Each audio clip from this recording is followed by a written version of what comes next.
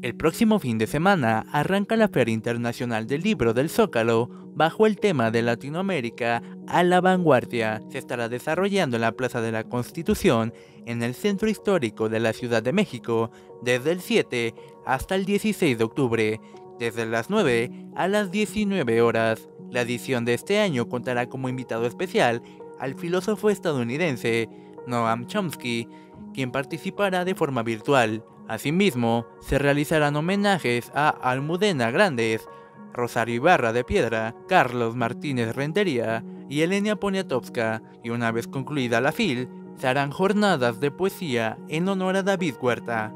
Habrá 460 participantes, entre escritoras y escritores, analistas políticos, músicos, periodistas y artistas visuales, que estarán en 238 actividades, como presentaciones de libros, charlas, debates, programas de televisión, entre otras.